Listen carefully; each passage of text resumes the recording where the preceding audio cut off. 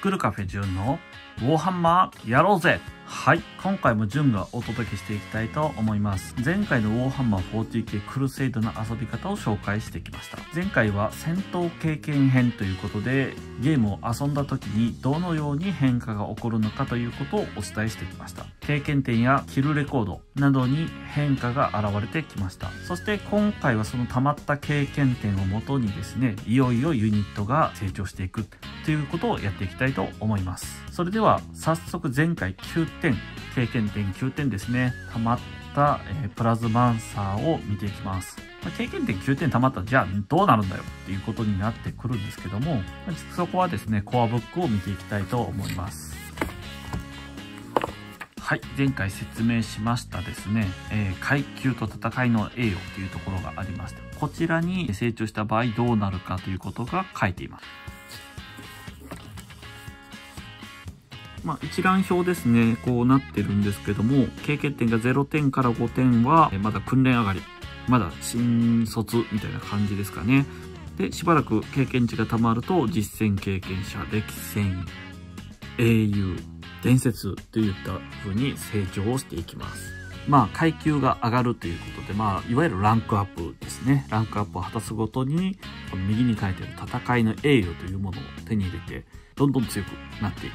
っていう形になるんですけども、まあ、強さのほどはですね、後々わかると思うんですけども、スペシャルキャラクターよりもはるかに強くなることもあります。なのでですね、よく見ながら選んでいきたいと思います。まあ、ぜひですね、伝説級を目指していきたいところですね。では今回ですね、まあ、9点ということで、6から15のここの実践経験者っていうことになりますので、戦いの栄誉を1つ手に入れましたということになります。じゃあ、戦いの栄誉というのは何ですかって言いますと、ここですね。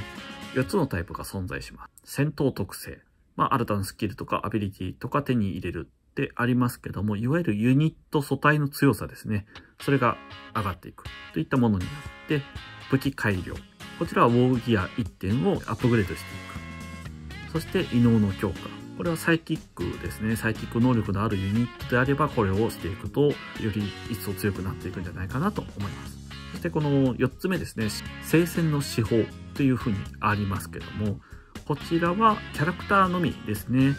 ヘッドクォーターが大体キャラクターになってるんですけども、こちらの方にクルセイドルール専用のレディックのようなものをつけていくことができます。これが非常に強力なんですけども、複数個つけることもできますので、ヘッドコート育てるときはこれを優先なのかなということも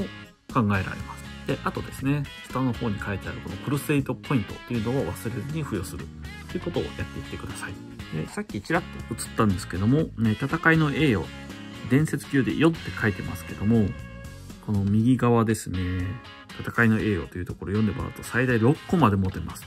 で、育った状況で4個までしか持てないのに、6個まで持てるのってなるんですけども、まあ、ミッションをやってるうちにそれがもらえるということもありますので、そういったものを活かしてですね、最大6個まで持つことができますよということになります。あと、それとですね、その強化の内容は、コアブック。はい、こちらですね、武器改良であったりとか、戦闘特性を手に入れる。戦闘特性を手に入れるとか、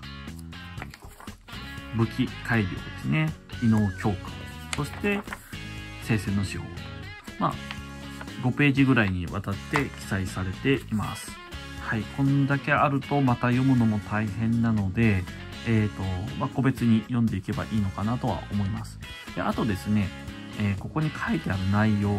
だけではなくてですね、えー、コデックスの方にもこのクルセイドで成長する内容が書かれていたりします。なので、両方見てですね、どっちが自分のこのユニットに対して効果が高いかっていうのを選んでですね、付与していければと思います。あと注意なんですけども、一回付与したものは外すことができません。はい。なので、えー、そこを注意しながらやっていってみてください。で、あとですね、司法のところでもう一つ注意なのが、まあ、ここに書いてあるもの全てを付けれるわけではないです。はい。どういうことかと言いますと、最初ですね、まあ、こちらの達人の司法っ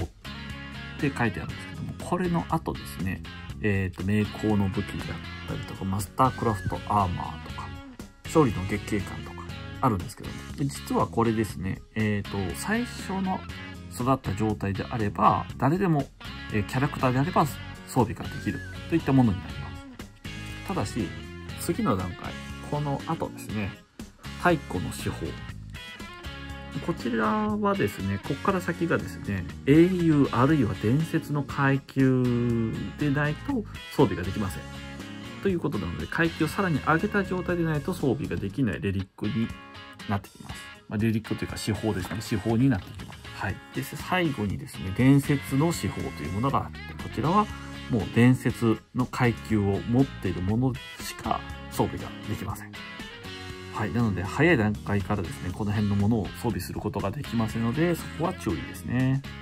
はい。それではですね、えプラズマンサーに、え何か付与していきたいと思いますけども、え、手法をですね、選んでいきたいと思います。まず一つだけ手に入れられるということなので、コアブックからではなくて、えーと、こちらのコデックスですね。ネクロン用のコデックスの中の聖戦の手法ですね。こちらの欄から、こちらですね、超次元の、なんていうんですかね、読み方がちょっとわからないんですけども、でこちらを持っていきたいと思います。何かしらのベールですね。ウンズロールが、ま、修正前の出目が1から3であった場合、えー、無効になってしまうよというものになります。自動失敗ですね、になるものなので、こちらを装備してもらおうかなと思います。で、プラズマンサーのこちらに来て、階級が上がった時には、チェックを入れてくださいねっていうことなので、戦闘経験者にチェックを入れます。はい。で、戦いの A を手に入れ手に入れて、えー、取得したものが超次元の、超次元のなんていうもんですかね。えっ、と、もしわかる方がいらっしゃったらですね、コメント欄に書いていただければ非常に嬉しいです。はい、こちらですね。ここに書いてきました。まあ、書くところがなくなってきたらですね、こことかに空いてるとこどこでもいいので、必ず忘れないようにだけしていきましょう。はい、これで、えー、強化されたので、またクルセイドポイントを足していきます。はい、これがなくなって3ポイントですね。こんな感じで、えーと、クルセイドカードも更新していきました。はい。それではですね、え、ー、と、いよいよクルセイドモードですね。今回の遊び方の最後の、えー、ポイントになりますけども、一番最初にやったことを覚えてますかね。えっ、ー、と、補給ポイントですね。はい。そちらの方を先に使いましたけども、使った時に言ってたのが、戦闘が1回終わると、1ポイント、補給ポイントが付与されます。はい。ま、ミッションによっては、えー、追加で足されることがあるんですけども、今3ポイントまで減らしたものが今回のゲームが終わってプラス1ポイントということで合計4ポイントになりました。まあ、たくさんですね、説明させていただきましたけども、これでクルセイドモードが大体一巡したという形になります。で、この状況をですね、何度も何度も繰り返して成長させていくっていうのがクルセイドモードの遊び方になっていますので、本当にですね、40K に付け加えて遊ぶっていうやり方なので、意外と皆さんとっつきがいいのかなとは思いますので、ぜひチャレンジしてみてください。まあ、あとはですね、いろいろな組み合わせで皆さんの最強のアーミーを作っていくといったものをですね、体験していってもらえたらなと思います。はい。まあ大好きだけどね、ちょっとこいつ弱いなとか、もしあったらですね、そいつを、え、まあちょっと重点的に育ててみたりとか、こいつは絶対強いんだっていうやつをですね、まあ、あの、鍛えていって、まあ本編には登場しないですけども、自分の銀河系の中のですね、戦場ではこいつが、まあ伝説級に強いと。いった世界観なんかも作っていってみてはいかがでしょうか。まあ、銀河は広いんでですね、まあ、いくらでもそういったものたちがいるんじゃないかなと思います。はい。ではですね、やってみようクルセイドは今回で一旦終了となります。皆さんクルセイドモードを興味を持ってくださいましたでしょうか